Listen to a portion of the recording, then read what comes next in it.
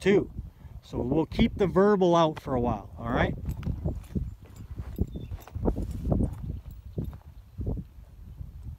Make sure you're in zone four.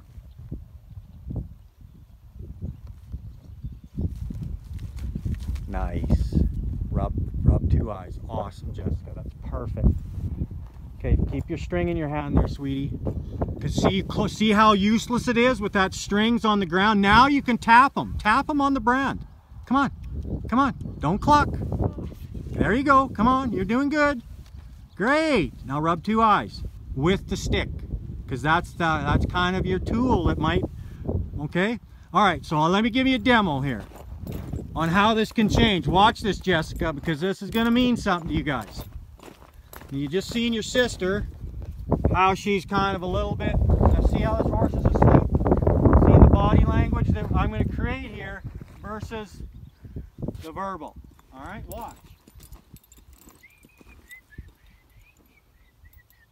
Lead, lift, swing, touch. Okay? Yeah. You guys want respect? Or do you guys just want Alright? Watch. Go there a few times, watch the difference. But I gotta get back here and see how I'm here and rubbing.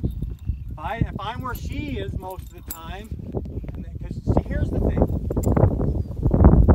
In horsemanship, when you get these colts, and you guys don't know if you got colts at home or not, you need to be on a good angle to be able to control it.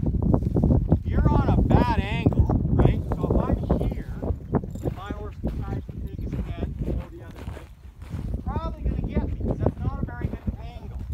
So that's what this zone four is about. When I'm like, I can really torque them here, right? Lead, lift, swing, touch. All right, and rub. Now look at the difference here. I went to phase four a few times, but I went through the phases. All right, at.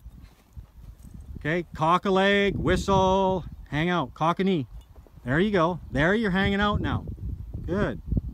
All right, get your hand on your shanks right, girls. There you go. All right, start your game. Good. There you go. Drop your string now, Cassidy, and whap them on the brand. There you go. Hang in there. Good. There you got. Now you got two eyes, right? Rub him with that stick and string. Fling it up over on his back. You know, kind of decent.